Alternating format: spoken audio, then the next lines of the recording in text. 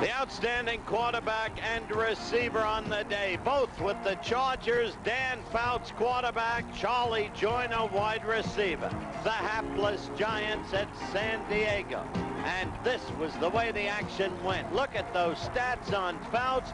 444 yards on the day and a touchdown pass to Charlie Joiner. 10 receptions, 171 yards on the day. Fouts not only broke his own record for passing, but look at that one right there to John Jefferson. Kellen Winslow, the great young tight end, and Jefferson and Joiner 100 yards all on the day the outstanding running back Earl Campbell of the Houston Oilers as Houston did away with the Tampa Bay Buccaneers in the Astrodome. Earl had his first 200-yard game ever, and this was his longest run of the day, 28 yards down the left side. There are the stats. Curtis Jordan finally downed him.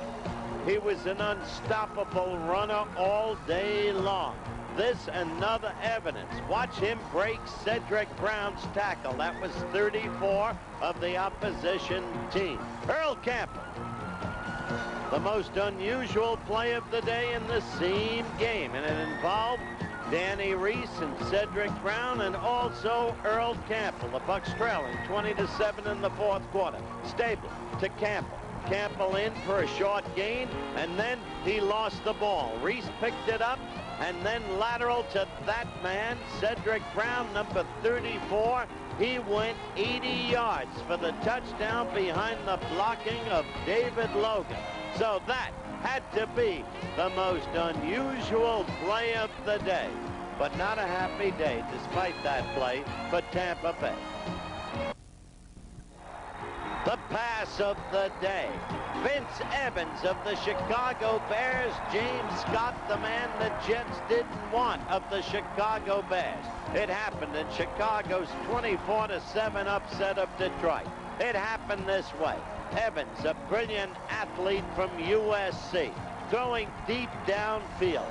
The defender half slipping, but Scott too speedy.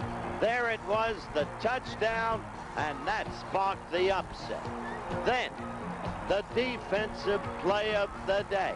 A man wearing number 46 named Don Bessillieu in the upset of the Dolphins over the Buffalo Bills 17 to 14.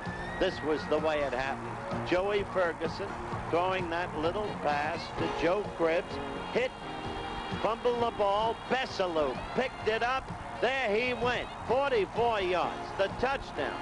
That got the Dolphins off to the early lead that sparked the upset. Kick return of the day for the hottest team in football, Horace Ivory of the New England Patriots. The Colts were ahead of the Patriots when it happened, 21 to 17. The Colts themselves, the winners of three in a row. And with that lead, they kicked off. Watch Ivory. Watch him closely. That quick burst through the hole. Then cutting half right. Eluding tackler after tackler. All the way downfield. 98 yards. New England went on to their fifth straight win. They're at 6 and 1 on the year. How about the most dramatic play of the day? It had to be Brian Sipe and Dave Logan of the Browns and their incredible victory over Green Bay. They were in a desperate situation. 25 seconds left in the game, losing 21 to 20. Third and 20 at the Packer 46, and Sipe went to work. To Logan, probably the most underpublicized great player in the league. He caught it on the 19, sped in for the score. Cleveland had won the game. Now let's take another look. Watch Sipe. Total blitz put on him by Green Bay. He held together. Spotted his receiver. Threw it perfectly. Sipe proved himself a year ago. And there was Logan. And I'll tell you, this Cleveland team has a way of coming back. They stay in the chase. They have won four of their last five games. And so, in the very tough AFC Central, a critical victory.